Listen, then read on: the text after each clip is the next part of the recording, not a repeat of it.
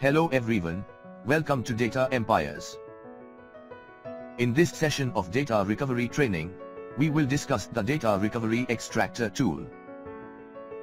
And we will also know about the working of MRT data extractor, and how to copy the data of a working hard disk after repairing the firmware. Here we have a Seagate Company Barracuda hard disk. Its capacity is 1 TB. The hard disk is properly working after the firmware repairing.